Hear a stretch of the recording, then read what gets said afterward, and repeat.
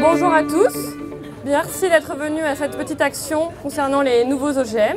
Any volunteer who wants to turn the wheel of fortune on new GMOs?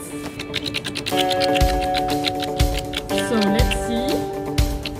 Oh, very, very bad luck. Calls are on the GMOs.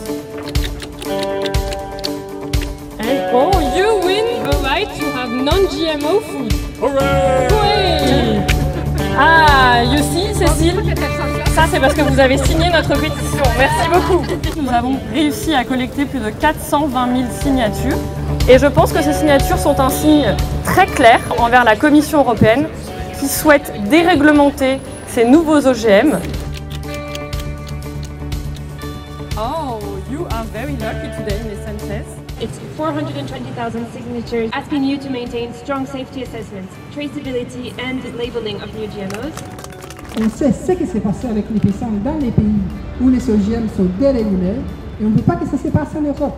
The people who want to keep pesticides on the market are the same people who want to deregulate GMOs and want to keep them on the market as well. La crise alimentaire actuelle est donc un problème d'accès et non un problème de disponibilité. I'm an organic farmer since 1988 and I know farmers don't need GMOs to make good products. And I say we don't need a deregulation.